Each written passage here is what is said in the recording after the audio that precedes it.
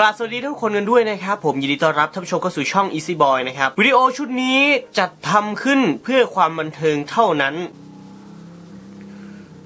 What the fuck เด็กแว้นข้างบ้าน วันนี้ผมจะมาทำ challenge ที่น่าจะยังไม่มีใครเคยทำนะ เป็น challenge ทำตามคำขอของคนดู ซึ่งคำขอจะไม่ได้มาจากคำขอว่าพี่ไปทำนั้นหน่อยพี่ไปทำนี้หน่อย ผมจะตั้ง challenge ให้ทุกคนครับ ทุกคนจะรู้ว่าคลิปต่อไปจะเป็นอะไร เพียงแค่ทุกคนนั้น กดไลค์ตามจำนวนที่ผมบอก ผมก็จะทำตาม challenge ที่ผมได้ท้าทุกคนเอาไว้ ทุกคนเคยเห็นมันผ่านมาแล้วใช่ไหมครับ วันนี้เราจะมาทำให้ YouTube ระเบิดภายในเสี้ยววินาที พลังของคนดูนั้นสามารถทำให้ผมทำอะไรได้บ้างวิดีโอชุดนี้ทำขึ้นมาเพื่อความบันเทิงเท่านั้น เด็กๆ ผู้ปกครองหรือว่าผู้ชมทั้งหลายที่อยู่ในช่องผม ห้ามทำตามเด็ดขาด เพราะแต่ละอย่างที่ผมจะทำนั้นมันจะกล้าและบ้าบิน และผมบอกกับทุกคนไว้เสมอว่า ผมพูดจริงและทำจริง และถ้าคลิปนี้ถึง